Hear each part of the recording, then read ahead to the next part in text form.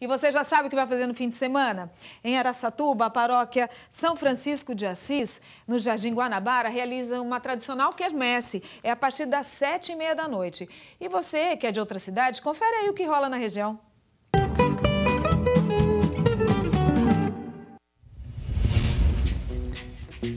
Faz de conta que o preço já não é valor que o choro nem sempre é de dor.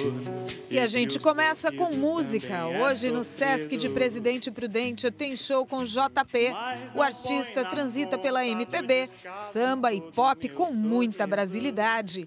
Gostou? Começa às quatro da tarde na área de convivência e é de graça. Só quero fita amarelo, mas pega a e os lençol seco no varal. E agora vamos de circo. Amanhã no Sesc de Catanduva vai ter Desconforto, um espetáculo de mágicas clownescas. O palhaço Conforto, que é muito atrapalhado, acredita que é um grande ilusionista e quer convencer a todos de que realmente consegue realizar um grande show. A apresentação é às 10h30 da manhã. Entrada gratuita.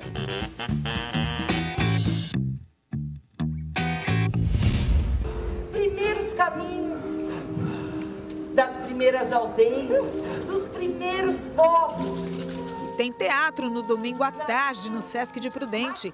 A peça Água Doce, que aborda a relação do homem com os rios e córregos das cidades, inspirado na cultura popular, lendas indígenas, mitos ribeirinhos e nordestinos, será apresentada a partir das três horas da tarde. E não paga para assistir, viu?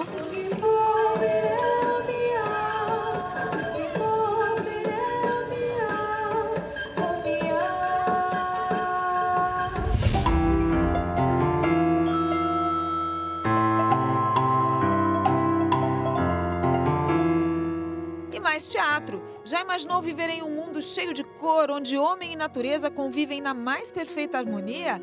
O espetáculo circense vai ser amanhã no Sesc de Birigui, às quatro da tarde. É de graça, mas precisa retirar os ingressos com uma hora de antecedência no local.